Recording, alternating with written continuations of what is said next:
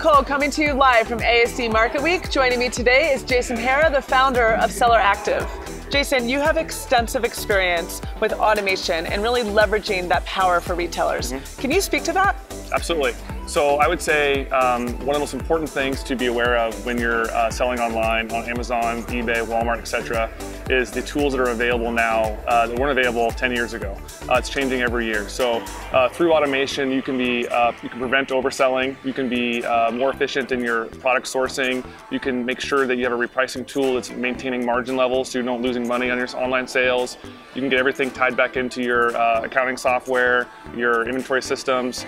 This is all evolving so rapidly, and people should be really be aware of the latest and greatest tools out there. Yeah, you know, it's so important because, as you know, e-commerce sellers are busy people, mm-hmm. right? Mm-hmm. So automation allows them to streamline the process.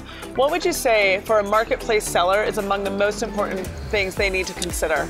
A, good inventory management tool, so something that's going to keep your quantities in sync across all your channels, brick and mortar, you know, all your storefronts. Uh, a good listing tool so that you enter your products in one place and they just get automatically listed everywhere you want them to be. That prevents a lot of manual effort with Excel or other you know tools. And I'd say a good repricing tool so that when you have competition, whether it's you know the marketplace themselves like Amazon or other sellers, you have a tool that's thinking you know and making decisions for you at nighttime while you're sleeping. It's repricing.